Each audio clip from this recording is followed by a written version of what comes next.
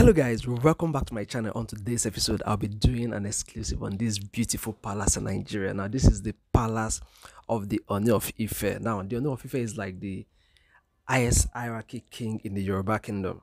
And just in case you're wondering this is the ancestral home of the yoruba people. Now come with me. Let me show you.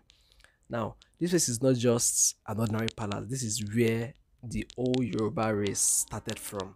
I'm talking about all the Yoruba race, and that's because um, this is the home of the progenitor of the Yoruba people, which is Oduduwa. Now, this is Ile-Ife, Osun State, Nigeria, and this is Ile Odua, as it's fondly called, which is literal in literal meaning. It means the house of Odua.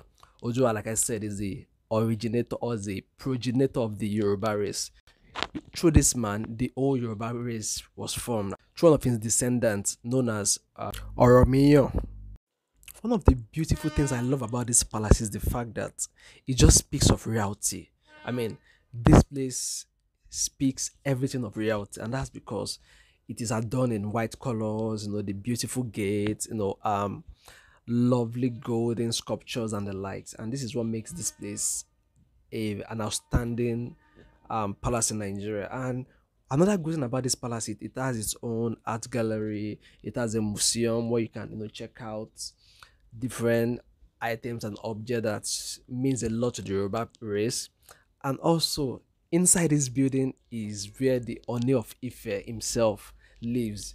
And um, some of these places are restricted, and that's because some places are more like religious, um, sacred ground, while other places are more like the private residence of the Ooni of Ife. So now let me show you guys around. It is a definitely a beautiful place and it is somewhere you can actually just visit next time you're in Osun State, Ile-Ife.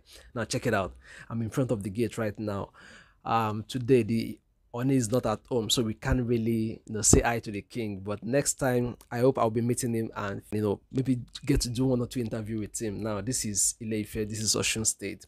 The next time you go to Osun State, don't hesitate or don't do yourself. Just visit this place. It is free to visit but and you have um tour guides that will actually take you around so and you can just just see inside. So you can you can just give them you know just tip them just for the for a work well done.